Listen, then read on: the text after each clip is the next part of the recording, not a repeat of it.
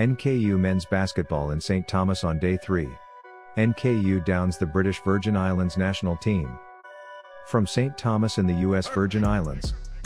A light day on the docket for the Northern Kentucky University men's basketball team provided some much needed rest after two busy days to open the trip. A little rest and relaxation at the resort was just what the doctor ordered. The Norse responded on the hardwood following last night's buzzer-beating win over USVI with a convincing victory against the British Virgin Islands national team.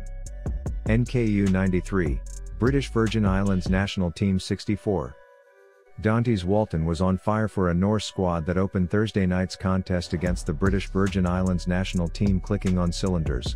All 10 active players saw at least 3 minutes playing time in the game, with NKU walking out the University of the Virgin Islands Gymnasium victorious by a final score of 93 to 64. Stats leaders. Tyler Sharpe paced the Norse for the second straight night, dropping 31 points on 11 of 17 shooting that included a 7 for 11 performance from three-point range.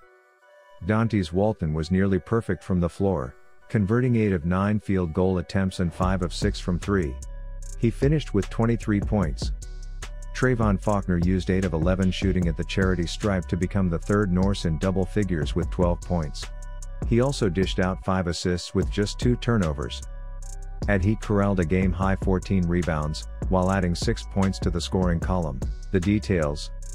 NKU jumped out to a quick 21-8 lead just over 5 minutes into the game before BVI slowly whittled the margin down to a pair of points, 26-24.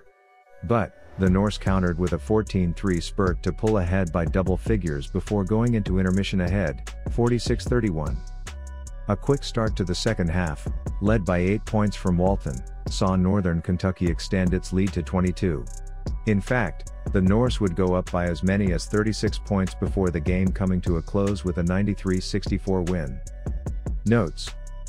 Through two games, Sharpe is averaging 30.0 points per game behind 53.7% shooting on 22 of 41 shots and 41.4% shooting from 3 at 12 out of 29. Walton has converted 11 of 14 for 78.6% from the field and 7 of 10 from long range, averaging 17.5 points in 14.5 minutes per game. Faulkner has averaged 17.0 points and dished out 8 assists through two games, a night after handing out 20 assists on 31 made hoops, NKU handed out 20 dimes on 29 made baskets Thursday night, while only committing 9 miscues. Led by Trey Cobb's 9 assists, NKU now has 40 in its two contests. Adheke has been a monster on the glass, pulling down an average of 13 caroms a contest. Next up. Friday is an off day for the Norse in terms of basketball related activities.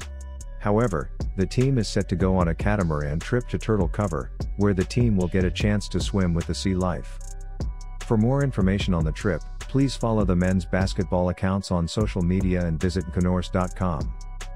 Brian McEldowney, Assistant Athletic Director, Communications and Media Services at Northern Kentucky University.